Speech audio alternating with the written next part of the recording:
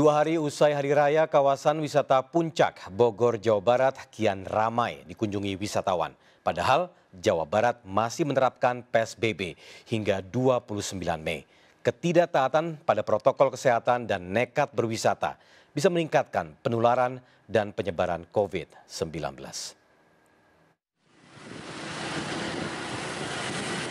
Masuk hari keempat lebaran, kawasan wisata Puncak Bogor, Jawa Barat kian ramai dikunjungi wisatawan.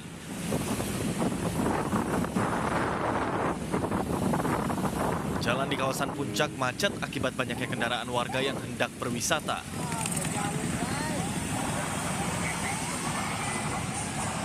Di pinggir jalan, sejumlah mobil dan motor terparkir serta banyak pedagang kaki lima berjualan.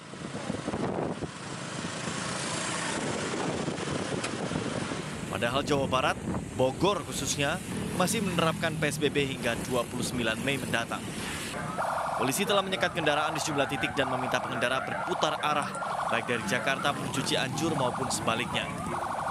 Kami bahwa banyak dari warga Jakarta yang naik ke puncak ya, eh, kita dapat lihat, kita saksikan itu ya banyak yang mencari makan, kemudian bisa makan di tempat, kemudian ada yang hanya sekedar apa namanya berhenti di pinggir jalan di kawasan kebun teh hanya untuk uh, apa ya mencari yang dingin-dingin. Ketidaktaatan pada protokol kesehatan dan tetap memaksakan diri berwisata bisa meningkatkan penularan dan penyebaran COVID-19. Dari Bogor, Jawa Barat, Wil dan Hidayat iNews melaporkan.